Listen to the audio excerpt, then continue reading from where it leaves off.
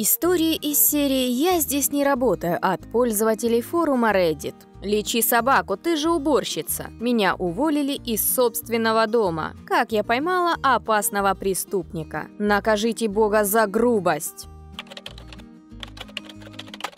«Лечи собаку, ты же уборщица!» Начну с вводной части. Я работаю уборщицей в ветеринарной клинике. Я молода, учусь в университете на инженера, а график позволяет работать мне после учебы. Поэтому я и выбрала это место. Должна обратить внимание, может кто не знает, никакого отношения к лечению животных я не имею, и у меня даже нет права давать какие-либо консультации, и ветеринаром я никогда не мечтала стать. Работаю я там исключительно исключительно из-за графика и моего босса. Он, конечно, душка. В нашей поликлинике есть постоянная клиентка. Она всегда хамит, грубит, к людям типа меня относится не как к людям, а как к ее собственным рабам. Я никогда не слышала от нее ни спасибо, ни доброго слова. Общается с нами она только в приказном тоне. А теперь сама история. Однажды в свой выходной я возвращалась после просмотра аниме «Твое имя» в кинотеатре. Возле моего дома есть прекрасный магазинчик сладостей. Я часто туда захожу, когда хочу чем-то полакомиться. В этот раз мне жутко захотелось мороженого. Но, видимо, не судьба. Как только я зашла, то увидела, что в магазине столпились люди. И нет бы уйти. Но мне стало жутко интересно, что там происходит, поэтому я пробралась к середине и увидела на полу мопса, который лежал на боку и хрипел, пытаясь набрать воздух. Одна женщина сидела рядом с ним и с кем-то говорила по телефону, видимо, с ветеринаром вечером. И тут мое внимание падает на другую даму, которая истошно орала. «Помогите!» Это скорее раздражало, чем помогала ситуации. Как вы уже догадались, этой дамой была та самая клиентка. И вот в этот момент ее взгляд падает на меня. Мое чутье уже разрывалось и просто кричало мне бежать. Бежать без оглядки, но цепкие лапы этого рыжего нечто, а именно нашей клиентки, были быстрее. Она схватила меня и прямо-таки толкнула вперед к бедному животному. «Ну что ты стоишь? Ты же работаешь в ветеринарной клинике. Спасай собачку, это же твой долг!» В глазах хозяйки мопса я увидела надежду, так как из разговора я поняла, что их ветеринар находится в отпуске, и я была ее единственной возможностью спасти питомца. А толпа позади меня гудела, они тоже вторили этой рыжей ведьме, заставляя меня спасти животное. Простите, я не ветеринар, а уборщица ветеринарной ветеринарной клинике. К сожалению, я не могу вам помочь». В глазах женщины что-то потухло. Она выглядела как маленький напуганный ребенок, который вот-вот разрыдается. И тут я чувствую, как меня кто-то сзади толкает и кричит прямо в ухо. «Как тебе не стыдно? Ну что ты врешь? Я же видела, что ты работаешь в клинике. Ты должна спасти бедное животное. А быстро сделало там, что надо. Тебе не жалко мопса? Я вот сообщу, куда надо, и тебя посадят за то, что не оказала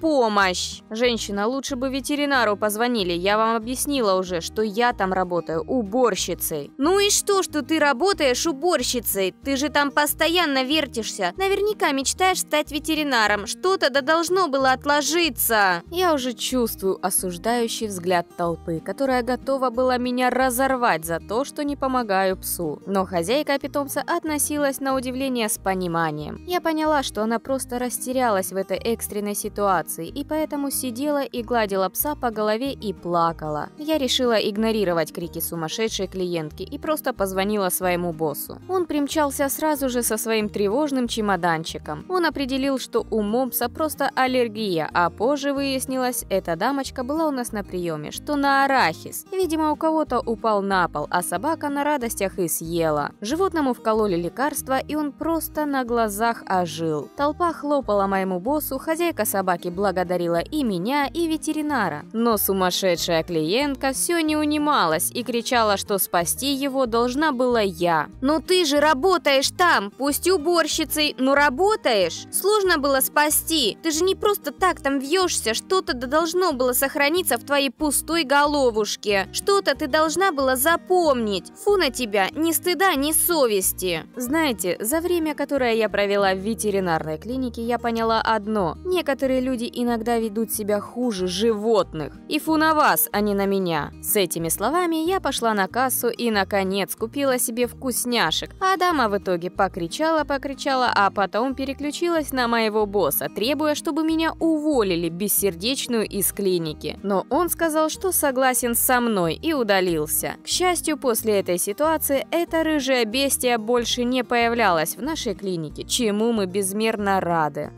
Меня уволили из собственного дома. Однажды мне позвонила девушка, предполагая, что это был отель в Аризоне. Когда я поднял трубку, то услышал недовольный голос. «Здравствуйте, мое бронирование отменено. Я хочу поговорить с вашим менеджером и узнать причину. Я забронировала этот номер более месяца назад, и вы обещали принять меня и моих подружек. Как вы могли так поступить со мной?» Звонившая с трудом сдерживалась и все-таки постепенно повышала голос, переходя переходя на крик. Девушка почти 10 минут высказывала свои обиды, обвинения и угрозы в адрес менеджера, непрерывным потоком заливая это мне в уши. Я выслушал все претензии, затем сказал, воспользовавшись небольшой паузой в гневном монологе. «Извините, мисс, я не работаю в отеле, у вас неправильный номер». На том конце провода явно не ожидали такой ответ. Последовал вопрос. «И как, по-твоему, я позвонила на этот номер месяц назад? Это был отель отель, я в этом уверена, не ври мне, засранец! Почему у тебя оказался их номер?» Я объяснил девушке, что мой дом никогда не был отелем, это просто недоразумение. И, скорее всего, ошибка в телефонном номере. Этим объяснением я только окончательно рассердил собеседницу, поэтому она обратилась ко мне повышенным гневным тоном и сказала «Как я могла набрать этот чертов номер неправильно? Почему ты скрываешь от меня своего менеджера? Ты пытаешься обмануть меня?» Я начал медленно говорить, четко произнося каждое слово. Я могу объяснить, как это получилось. Мой номер телефона и номер телефона отеля такой же, но скорее всего отличается только цифрами кода города. Ты офигел так общаться с клиентами? Если тебе лень работать, то увольняйся. Зачем так издеваться над людьми? А знаешь, если ты не можешь обслужить по-человечески нормальных людей, то я позабочусь, чтобы тебя уволили. Ленивая ты обезьянка.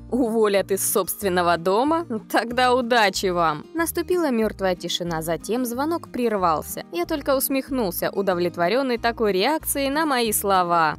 Как я поймала опасного преступника? Это случилось, когда я выходила из супермаркета. Остановилась там, чтобы купить продукты и разную мелочевку для дома. Тележка была уже наполнена, когда я положила туда губку для посуды и полгаллона молока. Тогда и закончила полный обход магазина. Наконец, я направилась со своей тележкой полной вещами к моему грузовику. Вот где и начался настоящий беспредел. Стоянка для этого супермаркета была достаточно большая, хотя нет, скорее длинная длинная. Я езжу на Ford F-150, и поскольку он высокий, мне удобнее парковаться в задней части парковки. В этом случае я могу избежать риска не видеть, как кто-то следует за грузовиком или паркуется в моем пятачке. Примерно на полпути через парковку мужчина, возможно лет 50 на вид, начинает звать кого-то. Но я прохожу мимо, не обращаю на эти крики никакого внимания, так как разговариваю по телефону с родственником. Звонок был коротким, и я закончила разговор с ним за несколько секунд до того, как добраться до своего грузовика.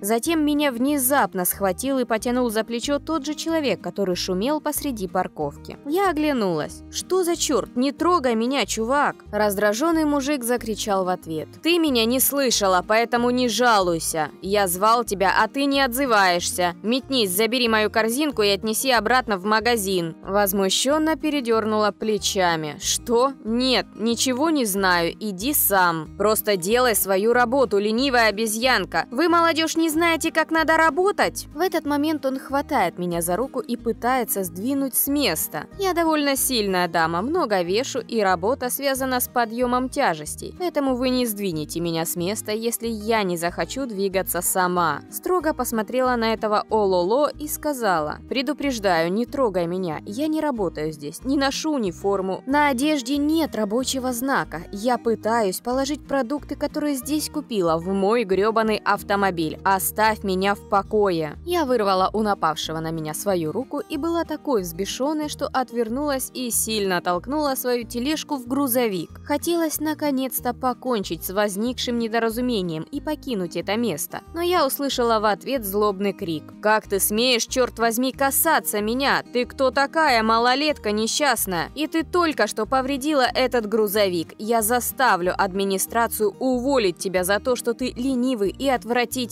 сотрудник, а также арестовать за хулиганство. Теперь к нам трусцой бежит молодой человек, который увозит со стоянки тележки для покупок, чтобы посмотреть, что случилось. Он наблюдает, как я пытаюсь уложить свои продукты с тележки в грузовик, а этот негодяй берет мои пакеты и бросает их на землю. В этот момент я повернулась к парню и попросила его позвонить менеджеру, полицейским и снять видео с камеры. Мне это пригодится. Сотрудник выпучил на нас свои глаза, похожие на фары, но отправился за помощью. Грубый мужик пытается не дать мне сесть в мой грузовик, потому что уверен в своей правоте. Все это время он кричал во все легкие о том, что меня уволят и арестуют. Парень вернулся к нам и сообщил, что менеджер сейчас недоступен. Отлично, я попросила сотрудника остаться здесь, рядом со мной, так как этот ненормальный чувак не отставал от меня, после чего достала перцовый баллончик и распылила в сторону этого грубияна, который перешел все границы,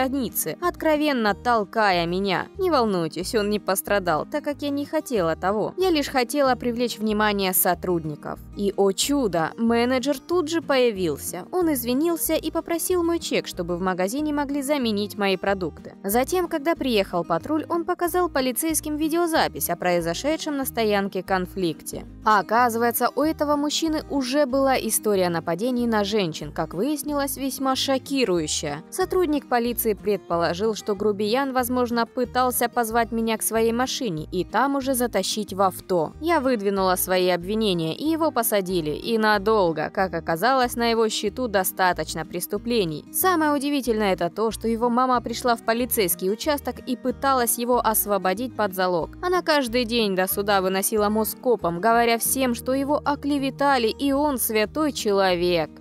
Накажите Бога за грубость. Я занимался на спортивной площадке в обычной тренировочной форме, рубашка песочного цвета с полисом на спине и темно-синие брюки карго. После тренировки собирался поприветствовать вновь прибывшего в мое подразделение рекрута и вручить ему список заданий. Парня зовут Джексон, и он был выбран среди других ребят, чтобы пополнять наш отряд, потому что у него выявили большой потенциал. Проходя по коридору, чтобы найти его, я вместо новобранца наткнулся на постороннего постороннюю женщину. Никак не мог подумать, что можно ошибиться на мой счет, ведь я носил форму, которую новичкам не разрешено носить, поскольку они еще не считаются действующими полицейскими и остается шанс быть отвергнутым. В первый день службы всем родителям сообщают, что ребятам разрешено носить и что запрещается. При встрече с незнакомой женщиной состоялся следующий разговор. Она первая зацепила меня. «Эй, ты, подойди быстро!» Я, оглядываясь вокруг, чтобы убедиться, что дама не обращается обращается к кому-то еще, недоуменно спросил. «Вы говорите со мной?» «Нет, я разговариваю с призраком позади тебя. Не веди себя как недоразвитый. Конечно, я говорю именно с тобой». «Чем могу вам помочь?»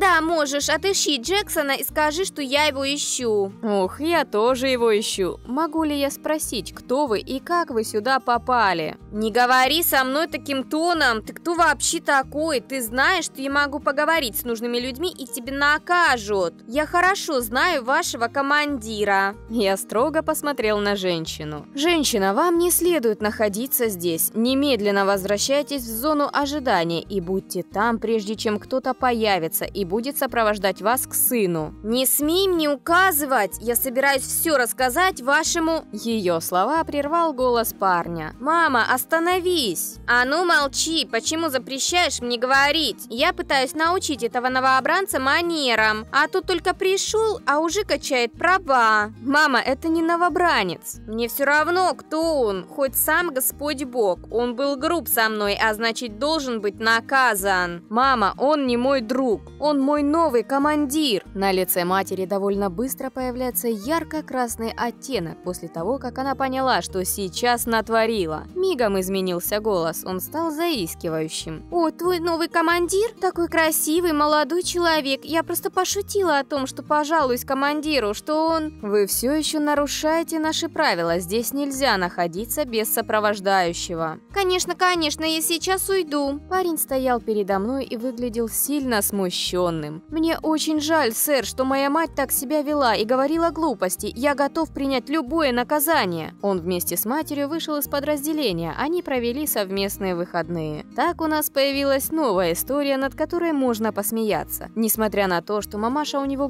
грубовата, парень вырос добрым и очень талантливым. Поэтому я вовсе не зол ни на него, ни на его родительницу.